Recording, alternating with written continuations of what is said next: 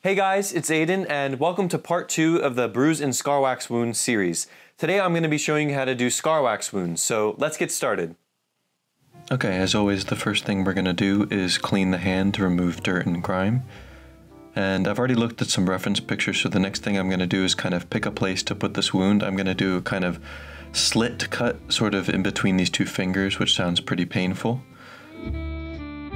In a cup here, I have some Pros-Aide. It's a medical grade adhesive that's pretty standard in the special effects industry. It's the second strongest adhesive, the first being Telesis, which is a silicone adhesive, but we're not going to be using that in any of these tutorials anytime soon. So with a Q-tip, I'm just applying it to the area that we're going to end up applying the scar wax. Much like Elmer's glue, Pros-Aide goes on white and then dries clear and tacky, so I'm going to apply this and then let it dry. Next, I'm to grab our Scar Wax, which is basically a wax that has some other properties in it that are special for makeup. And they come in many different flesh tones. I have a lighter flesh tone here to match my own skin. Um, so I'm to take a little bit out with a tool and then I'm to start rolling it into a small snake. You don't need as much as you think, so I'm halving it here. And we're to roll it into a snake and then start spreading it onto the area.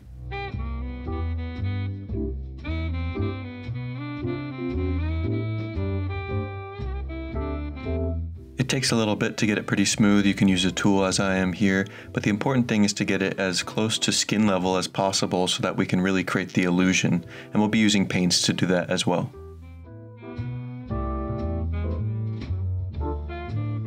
Baby oil can actually be used to smooth scar wax down even further, so I'm just putting a little bit on my finger and rubbing it over the scar waxed area.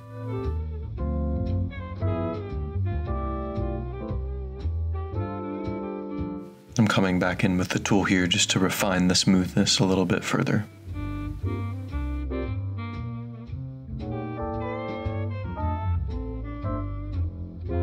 Next I'm going to grab our friend the stipple sponge to add texture to the scar wax, which will again help it really blend into the surrounding skin and replicate some of the pores and other surface details that can be found on skin.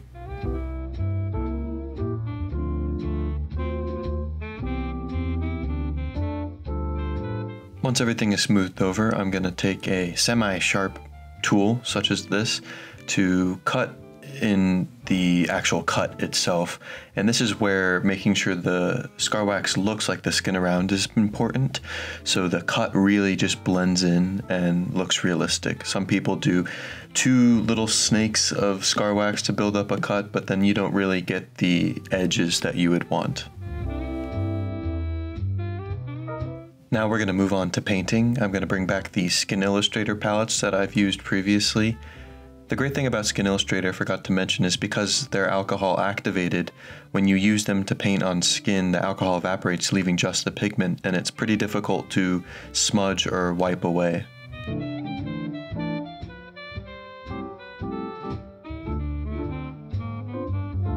Going to speed up the painting process a little bit because it's, you know, based on personal preference and what you can see with your own eye to make it realistic to the skin tones. But basically, I'm going to just build up color in layers as I've done before.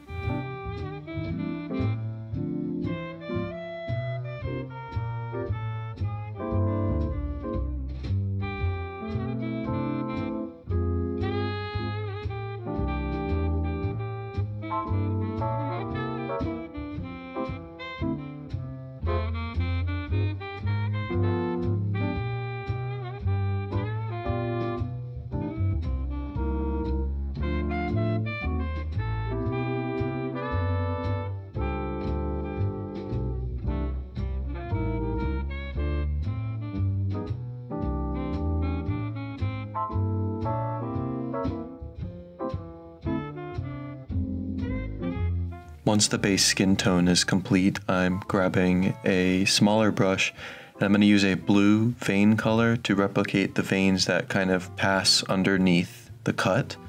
My mom got pretty grossed out about this part, but it's all about achieving that realism that we want.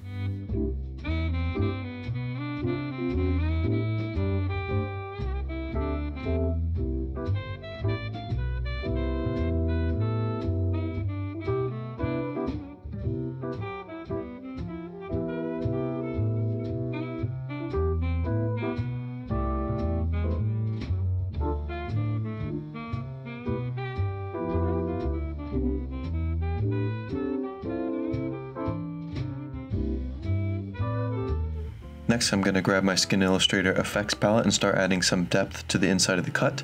I'm going to start with a darker color and then do a more fleshy blood color around the sides of the cut. And then I'm going to apply a blood color over top to create an illusion of blood. We will be adding blood eventually.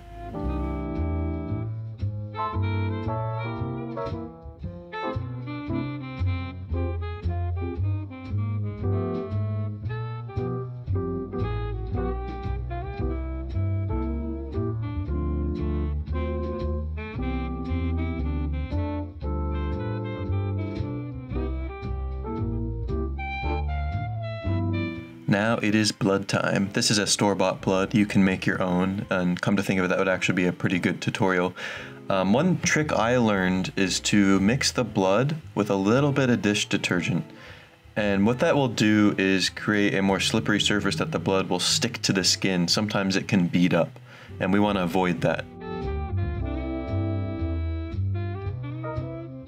After mixing, I'm going to just apply a little bit of blood inside the wound.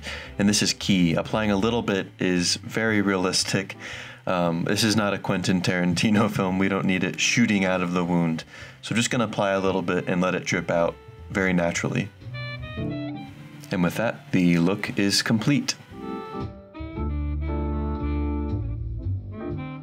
That wraps up part two of the Bruise and Scar Wax Wound series. Stay tuned for part three where we put the techniques together to create a broken nose slash black eye.